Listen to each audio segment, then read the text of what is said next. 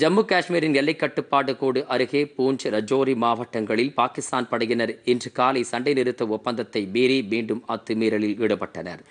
அதிகாலை மூன்றரை மணியளவில் பாகிஸ்தான் ராணுவத்தினர் சிறிய ரக ஆயுதங்களை கொண்டு துப்பாக்கியால் சுட்டதாகவும் கையெறி குண்டுகளை வீசியதாகவும் பாதுகாப்பு படை செய்தி தொடர்பாளர் தெரிவித்தார். இந்திய ராணுவத்தினரும் பதிலடி தாக்குதலில் ஈடுபட்டதால் இரு தரப்பினருக்கும் இடையே எல்லைப் பகுதியில் கடும் துப்பாக்கிச் சண்டை நீடித்ததாக அவர் கூறினார். தொடர்ந்து காலை ஐந்தரை மணி வளைவில் ரஜோரி மாவட்டத்தில் நௌஷேரா என்ற இடத்தில் பாகிஸ்தான் ராணுவத்தினர் அத்துமீறி தாக்குதலில் ஈடுபட்டனர். கடந்த பதினைந்து நாட்களில் பாகிஸ்தான் படையினர் நான்கு முறை சண்டை நிறுத்த ஒப்பந்தத்தை மீறி இத்தகைய தாக்குதலில் ஈடுபட்டதாக அதிகாரிகள் தெரிவித்தனர். இந்த ஆண்டில் மட்டும் எண்ணூறு முறை பாகிஸ்தான் படையினர் இதுபோன்று அத்துமீறி தாக்குதலில் ஈடுபட்டிருந்தது குறிப்பிடத்தக்கது.